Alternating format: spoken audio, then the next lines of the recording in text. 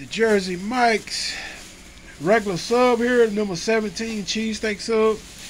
I went and got me some of the veggie chips because I don't really like all those the salty chips. So I like the veggie, they good healthy chips for you right here. I got some of them from Dollar Tree to go with mine here.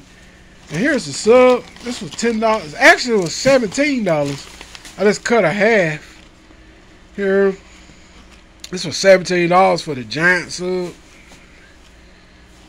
All right, guys. Um, let's go and bite into it. See what it tastes like. Here we go. Yeah, this is good.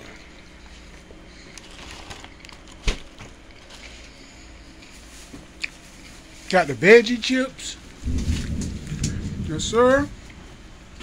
I'm gonna share this in a quick video with y'all. Got the zero Dr. Pepper. Always zero sugar, Dr. Pepper. Yes, sir. Veggie chips.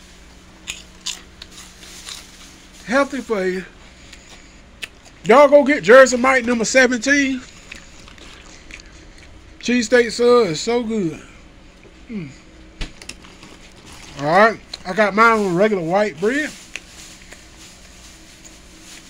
And uh, hit you guys on the next one. Get them good healthy chips. The veggie chips. Alright, I'm out.